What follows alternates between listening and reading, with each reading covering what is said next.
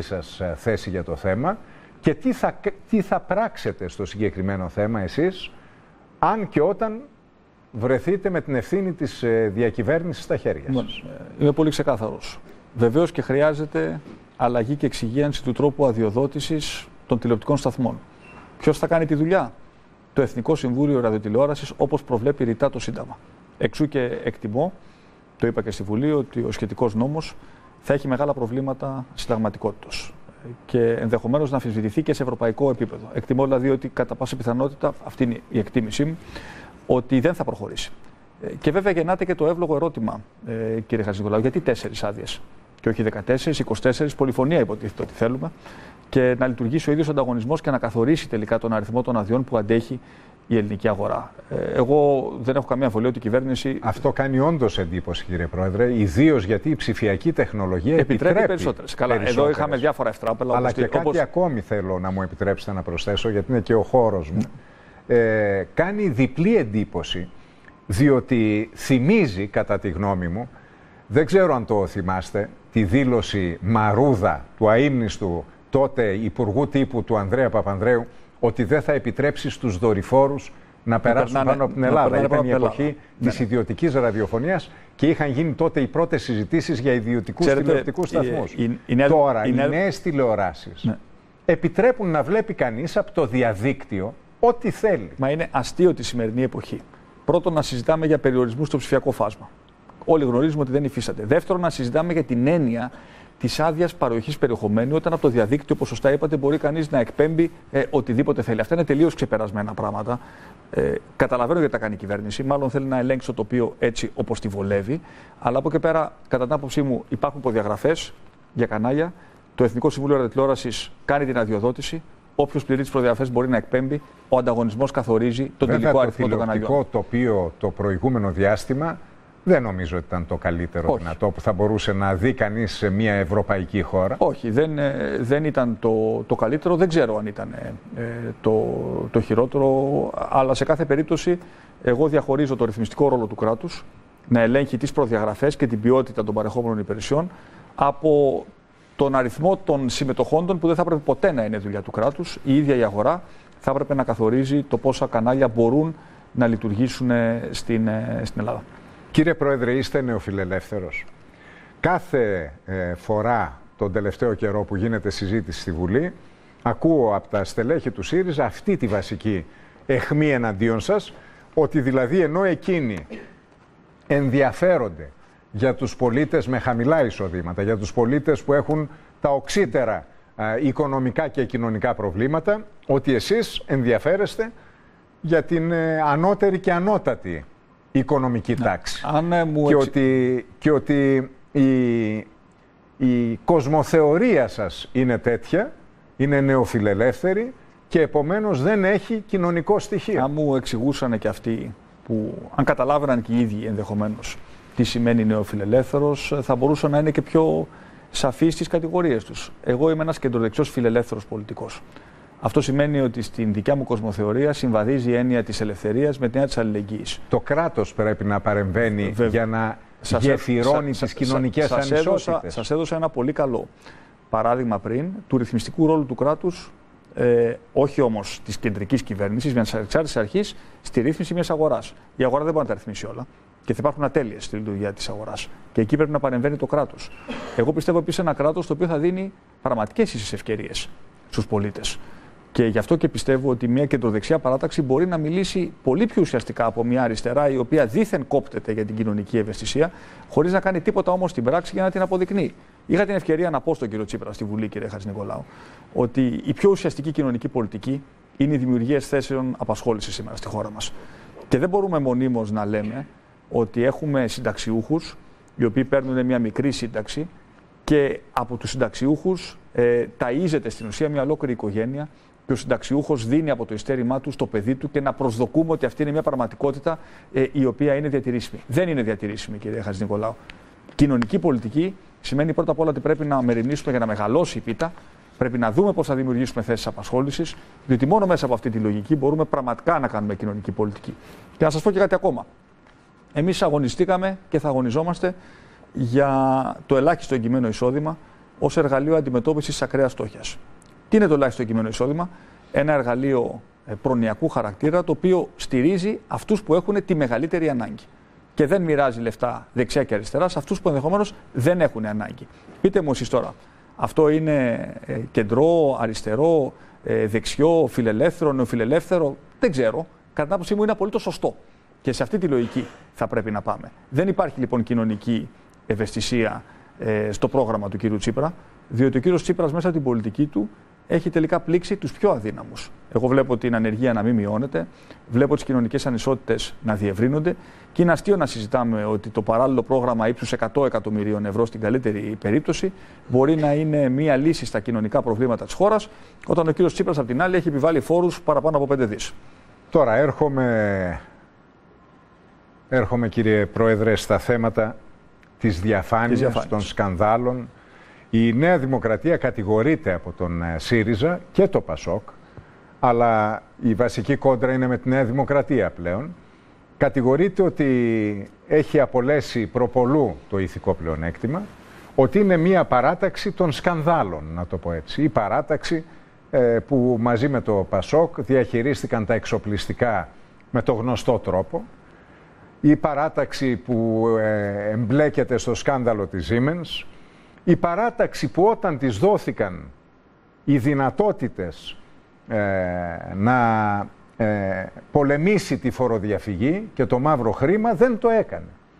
Και αναφέρονται και στο στικάκι της λίστας Λαγκάρτ που έκοβε βόλτες από συρτάρι σε συρτάρι και δεν αξιοποιήθηκε ποτέ, από το Πασόκ και στη συνέχεια από τη Νέα Δημοκρατία, αλλά και στη λίστα Μπόργιανς, τη λεγόμενη, όπου ο Υπουργός Οικονομικών της Ρηνανίας Βεστφαλίας, του κρατιδίου, ε, ήταν έτοιμος να δώσει στοιχεία ε, στην κυβέρνηση της Νέας Δημοκρατίας και εκείνη λοιπόν, δεν για, τα ζήτησε. Για πάμε να τα δούμε ε, ένα-ένα τα θέματα. Ε, ο, ο κύριος Τσίπρας και ο ΣΥΡΙΖΑ αρέσκεται σε βολικά διλήμματα. Ε, κύριε Χατζικολάου. Πρώτα ήταν το, το μνημόνιο ε, αντιμνημόνιο. Αυτό δεν του βγήκε διότι από αντιμνημονιακός έγινε μνημονιακός.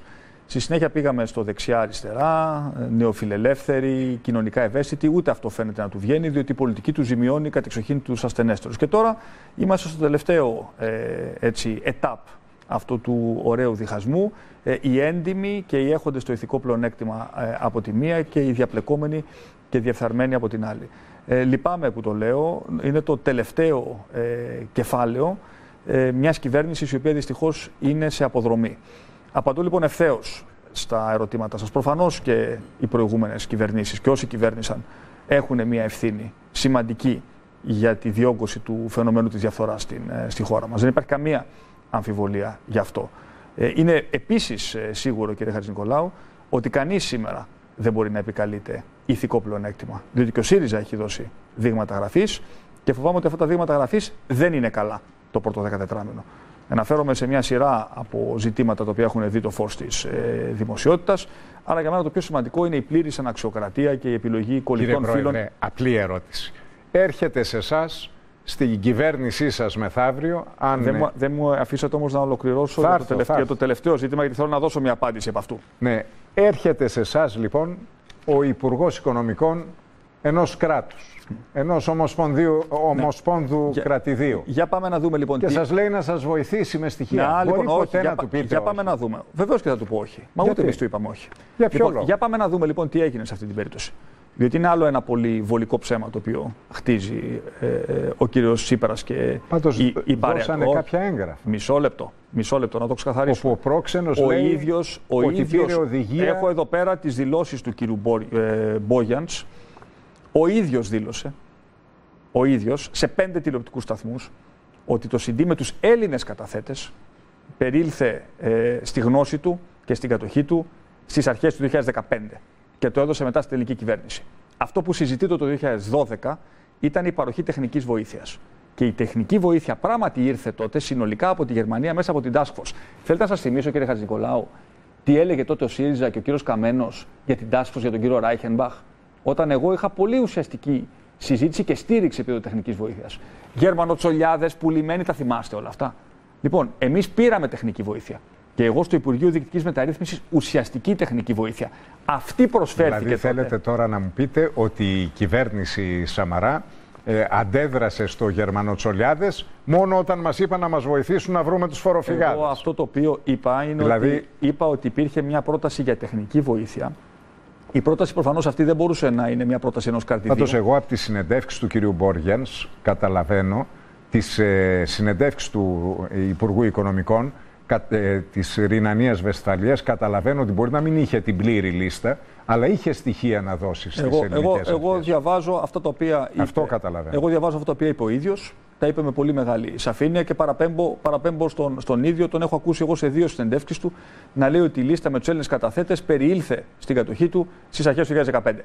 Ε, Πάντως, ξέρετε- κύριε Πρόεδρε, η αίσθηση που δίνει τώρα η Νέα Δημοκρατία στα θέματα αυτά, που έδινε τουλάχιστον μέχρι πρώτη, θα δούμε τώρα, η δική σας περίοδος τώρα αρχίζει, είναι μία αίσθηση ότι δεν θέλει να ψαχτεί το θέμα ιδιαιτέρως. Όταν, για παράδειγμα, προκύπτει το όνομα του κυρίου Παπασταύρου, συνεργάτη του κυρίου Σαμαρά, συμβούλου του, στις λίστες και η απάντηση είναι «Μακάρι να είχαμε 10 Παπασταύρου» Μα από, η- το, από τον Ντέος ε, Πρωθυπουργό. η, η περίπτωση, κύριε Με Χατζηνικολάου- συγχωρείτε, αλλά αυτό δεν δίνει καλό σήμα στην Μισό κοινωνία. λεπτό. Εγώ, Το μακάρι να είχαμε 10 μισό λεπτό. εγώ, Παπασταύρου. εγώ διαχωρίζω. Ο οποίος πλήρωσε πρόστιμο τελικώς 3, κάτι Ναι, εγώ- εκατομμυρίων ευρώ. εγώ, εγώ διαχωρίζω τα. για να μην έχει ποινική εγώ, ε, επίπτωση. Εγώ διαχωρίζω τα, τα δύο ε, ζητήματα. Ο κ. Παπασταύρου μπορεί να είχε μια φορολογική εκκρεμότητα. Ε, από ό,τι γνωρίζω θα προσφύγει στα ε, διοικητικά δικαστήρια και η δικαιοσύνη θα κρίνει τελικά ε, την πορεία ε, αυτής της ε, υπόθεσης. Είχε ένα ε, σημαντικό ρόλο. Ε, έπαιξε ένα σημαντικό ρόλο δίπλα στον προηγούμενο ε, Πρωθυπουργό και ως προς την, ε, τον πολιτικό του ρόλο, κύριε Χατζηνικολάου, μπορώ να σας πω ότι βοήθησε τη χώρα. Και το λέω ευθέως και χωρίς περιστροφές στις διαπραγματεύσεις οι οποίες έγιναν. Το αν υπάρχουν άλλα ζητήματα, αυτά θα διερευνήσει η δικαιοσύνη. Και είμαι απολύτως ειλικρινής ότι το τελευταίο το οποίο ε, μου αρέσει είναι να ε, δέχομαι κανιβαλισμούς και δολοφονίες ε, χαρακτήρων. Από εκεί και πέρα, ε, εγώ ρωτώ, ε, η κυβέρνηση αυτή τι ακριβώς έχει κάνει στο ζήτημα των, ε, των ληστών, πόσα χρήματα έχει ακριβώς εισπράξει; Καμιά πενηνταριά εκατομμύρια, την- 48 από την- εκατομμύρια. από την νομίζω. καταπολέμηση και η προηγούμενη κυβέρνηση εισέπραξε. Εγώ καταλαβαίνω απόλυτα την καχυποψία. Την καταλαβαίνω και τη δέχομαι. Και εξού και δεν θα πω ποτέ, κύριε Χατζηνικολάου, ότι εγώ εδώ πέρα ε, έρχομαι να ισχυριστώ ότι η Νέα Δημοκρατία έχει ηθικό πλεονέκτημα.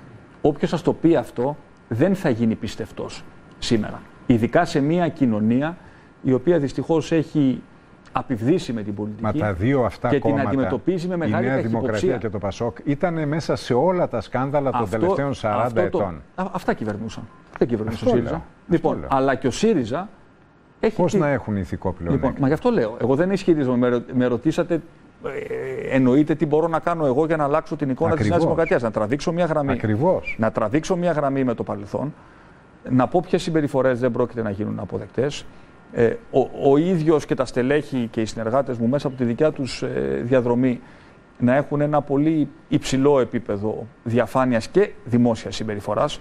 Και να σας θυμίσω και κάτι, εγώ είμαι ένας άνθρωπος, ε, κύριε Χαζηνικολό, ο οποίος ε, αγωνίστηκε εδώ και πολύ καιρό για τη διαφάνεια στο δημόσιο. Το Με- hot με- dog με- το είδατε, το περιοδικό του Ναι. κυρίου Βαξεβάνη. Το είδα. Ε, έχει εξώφυλλο ότι το πόθεν έσχε σας έχει σημαντικά κενά τα τελευταία χρόνια και ότι παρότι δεν είχατε πάρει διαζύγιο με την ενδιαστάση ε, τότε σύζυγός σας, ε, τη Μαρέβα Εγώ- Μητσοτάκη, ότι εγώ λυπάμαι- δεν δηλώσατε Εγώ λυπάμαι πραγματικά. ε, ότι και δεν εγώ δηλώσατε να σας το πω κάτι, δικό της κομμάτι έχω δεχτεί- οικονομικής ξέρετε, δραστηριότητας. Έχω δεχτεί πολλές προσωπικές επιθέσεις. Αλλά λυπάμαι πραγματικά όταν η πολιτική ζωή του τόπου επιστρέφει σε λογικές νεοαυριανισμού, τις οποίες είχαμε να ζήσουμε από τη δεκαετία του 80. Και λυπάμαι πραγματικά ε, που σε αυτήν την ε, συζήτηση εμπλέκεται με τρόπο χιδαίο, θα το πω ανοιχτά, ε, και η σύζυγός μου. Είναι γνωστό σε όλους και λυπάμαι που αναγκάζομαι να μιλήσω για αυτά, γιατί είναι προσωπικά και δύσκολα θέματα. Ε, ότι ήμασταν σε διάσταση για 8 χρόνια, ότι κάναμε ξεχωριστές φορολογικές δηλώσεις και ότι με την έγκριση της Επιτροπής Ποθενέσχε της Βουλής καταθέταμε ξεχωριστά ποθενέσχε. Λοιπόν, αυτά είναι απολύτως γνωστά και γνωστά και στο ΣΥΡΙΖΑ. Λοιπόν, το γεγονός ότι φτάνουμε στο σημείο να εμπλέκεται η σύζυγός μου, ε, να διασύρεται ε, η σύζυγός μου με αυτόν τον τρόπο, λυπάμαι, δεν αναβαθμίζουμε το επίπεδο του πολιτικού διαλόγου ε, με αυτόν τον τρόπο. Ε, και η σύζυγός μου και εγώ ξέρετε ότι δεν έχω, για πρώτη φορά ε, αναγκαστήκαμε να κινηθούμε ε, και νομικά, ε, αλλά πραγματικά δεν πρέπει να φτάσουμε εκεί, κύριε Χατζηνικολάου. Το έχουμε ξαναδεί το έργο αυτό. Ε, δυστυχώς, εγώ το θυμάμαι πολύ έντονα τις εποχές του σκληρού κίτρινου τύπου και της, του απόλυτου διασυρμού οικογενειών. Νομίζω να μην το ξαναζήσουμε. και πραγματικά πρέπει να είναι πολύ πανικόβλητος ο ΣΥΡΙΖΑ όταν σήμερα ο ίδιος βγάζει ανακοίνωση υιοθετώντας ε, ένα δημοσίευμα ενός περιοδικού το οποίο δεν θα πω τίποτα. Απλά δεν είναι και New York Times. Ε, δεν διακρίνεται ακριβώς για την φερεγγιότητά του ε, και την δημοσιογραφική του αντικειμενικότητα, κύριε Χατζηνικολάου. Τώρα, θέλω να, να πάω στους συμπολίτες μας. Να πάω στους συμπολίτες μας.